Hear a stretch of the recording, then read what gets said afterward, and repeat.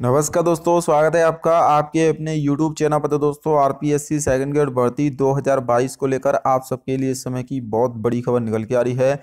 R P S C second grade भर्ती की answer की जारी करने को लेकर दोस्तों कट ऑफ़ इसकी दुगना क्या रहने वाली है, आपकी आंसर की कब तक दोस्तों जारी की जाएगी और तीन हज़ार पद बढ़ोतरी की भी अपडेट आ रही R P S C board second grade भर्ती में आपके तीन हज़ार पद बढ़ सकते हैं। तो पूरी जानकारी आपको इस वीडियो में मिलेगी। वीडियो को पूरा ज़रूर देख लेना। साथ में अगर आपने चैनल को सब्सक्राइब नहीं किया तो आपसे छोटी सी रिक्वेस्ट है, चैनल को भी सब्सक्राइब कर लें। तो दोस्तों, आरपीएससी सेकंड ग्रेड भर्ती परीक्षाओं का आयोजन हो चुका है। ग्रुप सी व ग्रुप डी का जो पेपर पेपर लीक हो गया था जीके का, दोस्तों, उसको भी कंडक्ट करवा लिया गया। हालाँकि उसमें मात्र तिरपन परसेंट ही उपस्थिति देखने को मिली है। और छात्रों का कहना है कि पूरी भर्ती को निरस्त करना चाहिए, क्योंकि पेपर सभी लीक हुए हैं। और जब आपके दोस्तों रिज़ल्ट आएगा या कट ऑफ़ आएगी, तब इसका और खुलासा यहाँ पर हो जाएगा। हालाँकि एसओसी जाँच कर रही है, लेकिन दोस्तों सिर्फ़ एक पेपर को ही लीक माना गया था, जिसका आयोजन दोस्तों हो चुका है।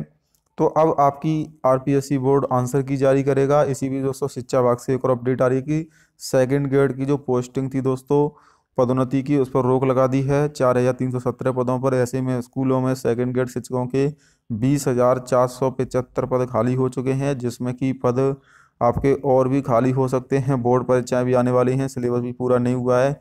इसीलिए मांग की जा रही है कि इस भर्ती में आपके पद बढ़ाने चाहिए तीन हज़ार के आसपास। तो सामाजिक विज्ञान में एक पद पर दो सौ तिरसठ दावेदार हैं। अंग्रेज़ी में इक्यावन के बीच में जंग रहेगी। आरपीएससी द्वारा 21 से 27 दिसंबर तक वरिष्ठ अध्यापक भर्ती परीक्षा का आयोजन किया गया था।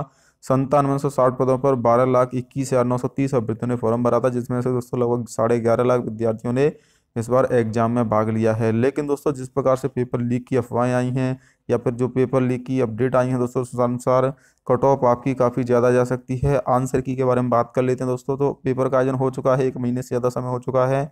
सिर्फ़ जो जीके का पेपर था, उसकी आंसर की में समय लगेगा। बाकी की जो आंसर की हैं दोस्तों, वो फरवरी फ़र्स्ट में ही आपको देखने को मिल जाएँगी। ये दोस्तों, फरवरी फ़र्स्ट के वीक, फ़र्स्ट वीक में ही आपकी आंसर की जारी हो जाएँगी। और इसके बाद आपको ऑब्जेक्शन के लिए अलग से समय दिया जाएगा और फाइनल आंसर की आपकी रिज़ल्ट के साथ आएगी, जिसमें आपको बोनस अंक भी मिल सकते हैं। तो यहाँ पर दोस्तों कट ऑफ़ के बारे में बात करें तो दोनों पेपर आपके 500 अंकों के हुए थे 300 प्लस 200 और सभी की सब्जेक्ट वाइज यहाँ पर एक पद के लिए कितने विद्यार्थी हैं, उसके हिसाब से आपकी कट ऑफ़ बनेगी।